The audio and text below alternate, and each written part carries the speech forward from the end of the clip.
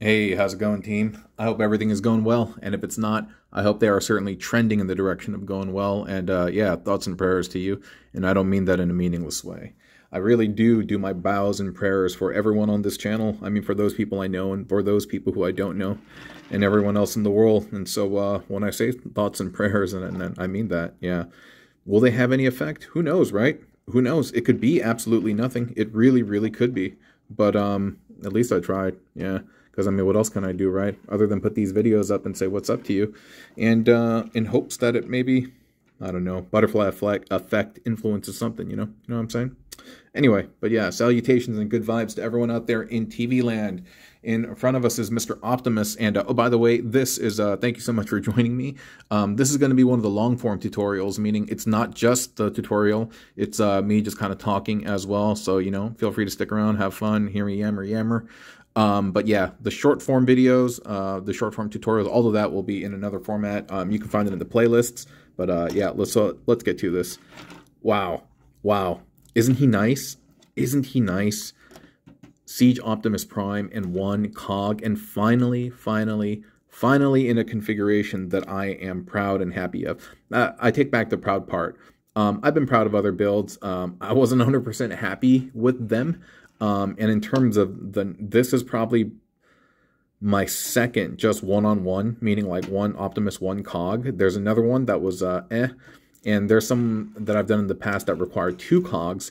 But when I see stuff like this, this is just testament to me about my own building journey. You know, I, I wasn't able to build this thing several months ago, uh, not even a year ago. And so, um, one second. Dude, I keep drinking water, but I got like super parched mouth. Um, anyway, uh, yeah, so this is just testament to me, and I'm real happy when I see this guy, and I'm like, wow, this is a tale of my journey, you know? And um, he's nice, dude. He's really, really, really nice, and he's very simple to make. Those are some of my favorite qualities about a build. Uh, one, you don't need a lot of parts to make them. Um, two, they look great. And um, three, um, and a lot about is accessibility. Like it's not hard to make. It requires a few parts, and it's and it's um parts that many people ha- have at home, so that you too can make it. You know, I really really enjoy when when things can check those boxes, and um, this is one of those. And plus, it's Optimus Prime. You know, and uh, again, like I love the color pairing, red, blue, and silver. Who else, right? Who else perfectly fitted for that? And then we have black. Look at that! Look at that, dude! And then you got all the tires rolling, everything flush, like, oh man, over the moon, baby, over the moon on this one. And uh, we can see how he'll look like um, once you take some of the accessories off. I put these on at the end because I honestly I forgot about them. And so he was like this for a while. And this looks phenomenal too. This is real nice. You can see in his core native state with just one cog uh, without the accessories. This is real nice. Seriously, this is real, real, real nice. Um, I'm thinking of doing this with Nemesis and Red Cog. That'll look cool. Um, yeah, I'm trying to think. Like, will yeah, this will work with um, any Optimus figure that has a hitch. You know, the center hitch where you plug in a trailer. Any Optimus that has that, this should be able to work.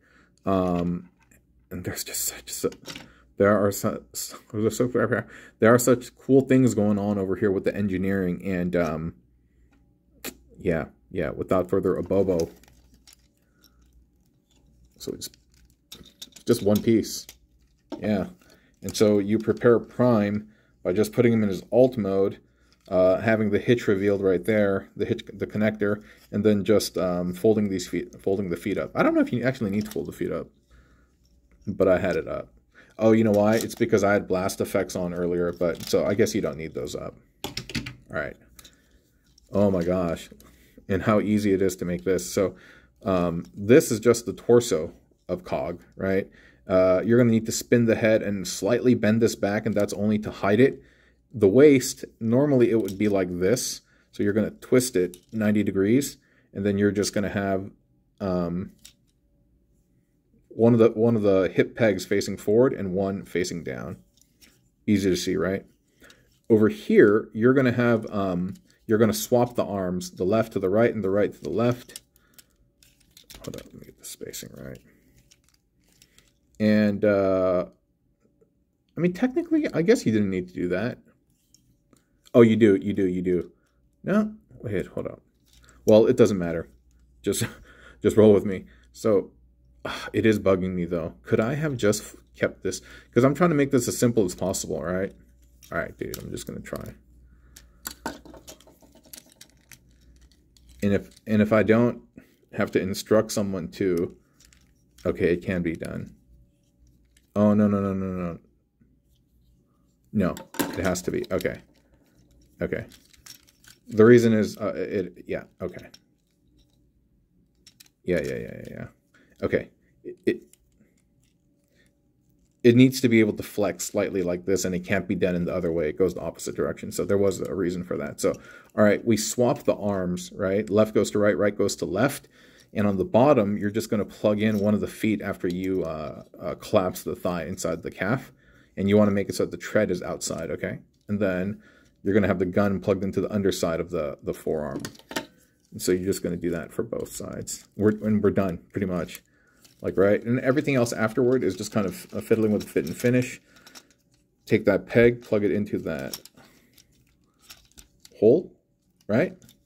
And then from here like this is crazy because see this thing right? This little thing operates off of a hinge. And this here we have like a bend and now this allows you to level this you see that very very important and see it's not level right now so you can mess around with that until everything is touching the ground. Then it feels nice and believable, baby. Dude, that's it. Incredible, right? Really fast custom, really nice custom. Um, very relatable to everyone. Um, like approachable from the from the perspective of um, people having these parts. Um, then you plug in the rest of that. And it's a little bit extra, but at the same time, it's cool. It's cool. Not right? Oh, man. It's been recording really dark for the longest time, I think. Oh, well. Oh, well. Now, but he's nice, huh? Really, really, really happy with how this came out. Yeah. And so if you have the...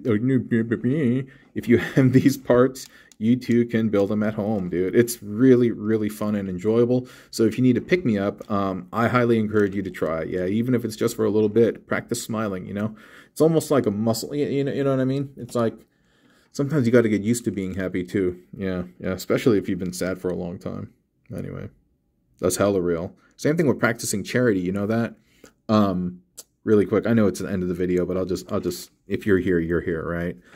Um, one of the things I realized is like, you know, if you're not used to practicing charity, it's going to be difficult to be charitable. You know that? It's almost like a muscle. You got to get used to flexing it and you got to get used to using it. Otherwise, when you suddenly try to do something out of the blue without having had any practice, you could potentially get hurt. It could be sore. You know what I mean? Like you might be left with resentment and stuff too. So yeah, if you want to be charitable, practice being being charitable. You know what I mean? If you want to be kind, practice being kind. If you want to be forgiving, practice being forgiving. Whatever whatever you practice, whatever you sow, whatever seed you plant, that's what's going to manifest. You know what I mean? And I'm not trying to say that to be some holier than thou person. It's more of like I say these from the perspective of regret, of like I wish I had known these things earlier, and that's why I'm trying to put them into practice in my life right now. You know what I mean? Yeah, definitely not holier than thou. Definitely not holier than you not Yep. I won't even I won't even say I won't even say anything. I won't even say anything. Yeah. Anyway. Talk to you next time. Bye.